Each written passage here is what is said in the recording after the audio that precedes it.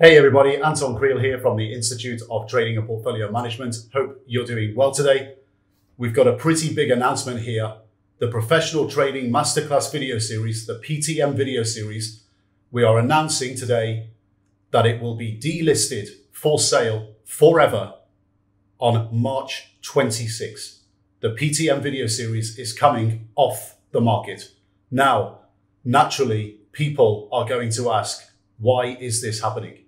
Well, I can tell you now, it's solely due to recent contractual obligations that we've entered into at the company as part of a bigger restructuring. That's all we can really talk about at the moment legally, but it's a larger company restructuring and we're going to be taking the PTM video series off the market on March 26. Basically, between now and then, we've created a final discount package for the PTM video series.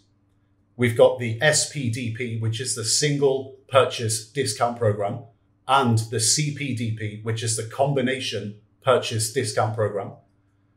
You can click the link below the video and you'll be taken to an attachment that will give you more details about those discount programs that are basically running from now till March 26 basically all new 12 month subscriptions to the PTM video series before March 26 will have access all the way up till the latest March 22nd.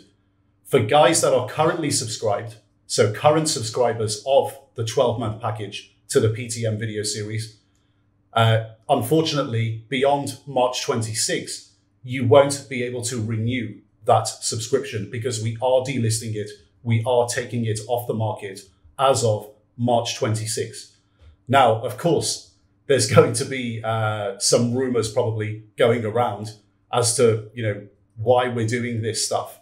Um, it's probably going to come from the usual suspects, the small fry educators that literally have less than one, two percent of the amount of students that ITPM have globally. Um, they're just trying to get attention, guys. It's all bullshit. Only good things are happening at ITPM in 2021 and beyond.